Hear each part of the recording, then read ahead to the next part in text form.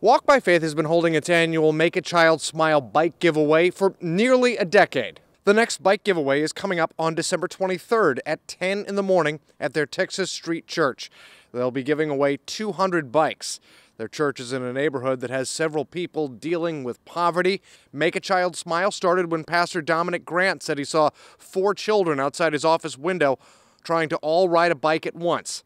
It's a tradition that they keep alive through hard work and perseverance, this year made additionally challenging by inflation. The volume is so high and bikes are so expensive.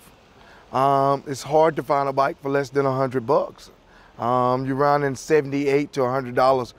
We was trying to catch them all on, you know, Black Friday when they had but they're not even making a whole shipping a whole lot of bikes. Grant says they can't replace the smiles on the faces of kids. They want to remind people to bring birth certificates and IDs next Friday, and they're still looking for donations to the cause. Grant says a big donor has been his employer, SA Recycling in Chickasaw. We've been involved for the last couple years. We uh, it's a great organization. They do good things in the community, and we like to give back to the community as much as we can. And for more information, look for this story on our website, WKRG.com. In Mobile, Chad Petrie, WKRG News 5.